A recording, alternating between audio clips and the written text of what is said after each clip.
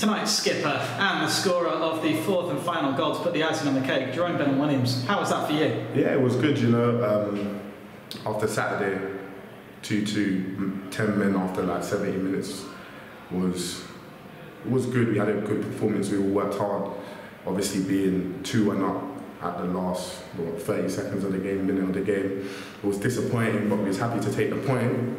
But today, you can see the boys went out there, worked hard, and it's nice to get onto the score sheet, as you can see. Say, talk us through that goal then. Oh, you know, sometimes I can get a goal line, but it opened up for me to go inside. And to be fair, when I got into the box, I, did take a heavy touch, and I just nicked it to get it to Crescent. It was a great one-two with him. Got in front of the goalkeeper. I thought, oh, I've got to put this away now.